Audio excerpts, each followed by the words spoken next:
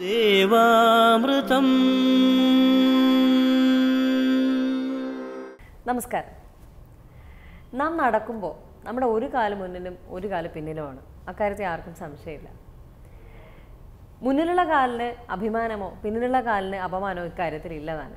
കാരണം കാലുകൾക്കറിയാം കുറച്ച് സമയം കൊണ്ട് തന്നെ ഈ മുന്നിലുള്ള കാൽ പിന്നിലും പിന്നിലുള്ള കാൽ മുന്നിലോട്ടും വരുമെന്ന്. ഇതാണ് ജീവിതം. ഇത് നമ്മൾ ഓരോരുത്തരും മനസ്സിലാക്കാൻ ശ്രമിച്ചാൽ നമ്മുടെ പലതരത്തിലുള്ള മാനസിക പ്രയാസങ്ങളും പ്രശ്നങ്ങളും നമ്മളെ ചെന്ന് തന്നെ ഉണ്ടാക്കി വെക്കുന്ന മാനസികമായിട്ടുള്ള ദുരിതങ്ങളും ഒക്കെ നമുക്ക് ഒഴിവാക്കാൻ സാധിക്കും.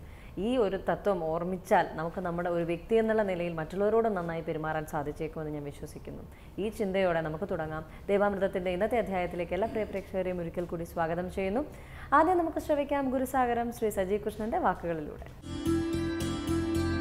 സാഗരം അറിവിന്റെ सागरम्। गुरुसागरम्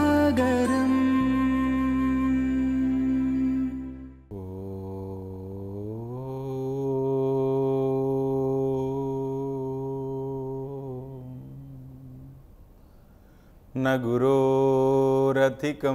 तत्त्वं। न गुरोरथिकं तप। തത്വജ്ഞാനാത് പരം നാസ്തി.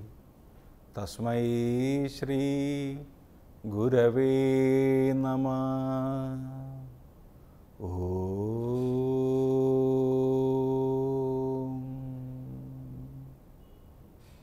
സർവലോകർക്കും നാഥനായ ശ്രീനാരായണ ഗുരുവിന്റെ ദിവ്യ സാന്നിധ്യം കൊണ്ട് പവിത്രമായ ഗുരുസാഗരത്തിലേക്ക് ഏവർക്കും സ്വാഗതം.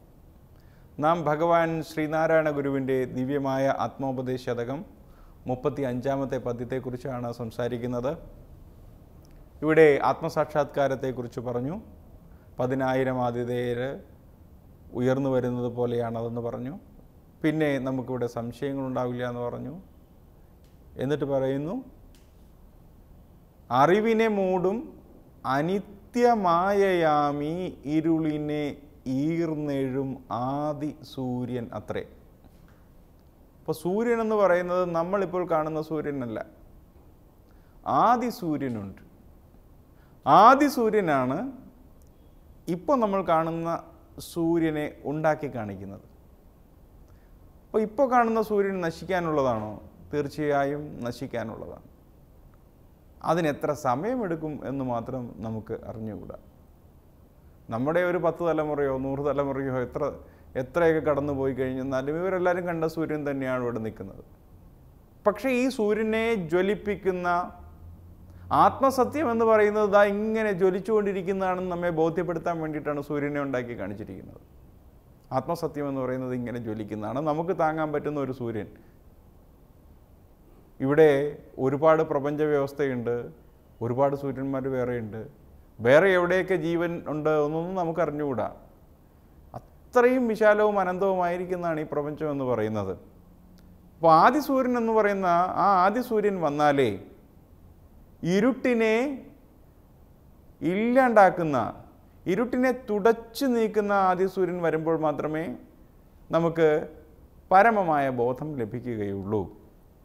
ഇത് വിചിത്രമായിരിക്കുന്ന അത്ഭുതകരമായിരിക്കുന്ന ഒരു വസ്തു എന്ന് പറയുന്നത് ഈ മായയിൽ ഉണ്ടായി കാണപ്പെടുന്ന വിവിധ ജീവജാല രൂപങ്ങളിൽ ഒന്നായ മനുഷ്യന് ഇതിന്റെ എല്ലാത്തിന്റെയും ആദികാരണത്തെ അറിയാൻ സാധിക്കുമെന്ന് പറയുന്നത് അതല്ലേ ശരിയായ ദൈവകാരുണ്യം?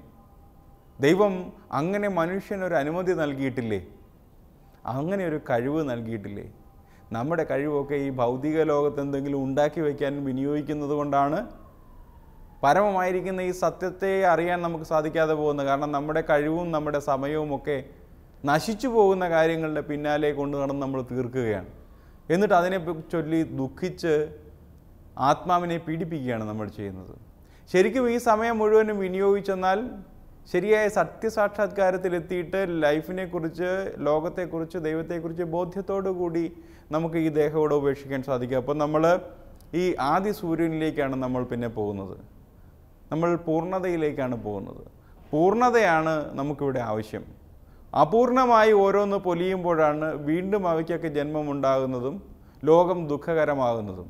ഇവിടെ ഓരോ വ്യക്തിയും പൂർണതയിലെത്തി ഇവിടുന്ന് ഇവിടെ പറയുകയാണെന്നുണ്ടെങ്കിൽ ലോകത്ത് ഇത്രയും അശാന്തി ഉണ്ടാവുകയില്ല.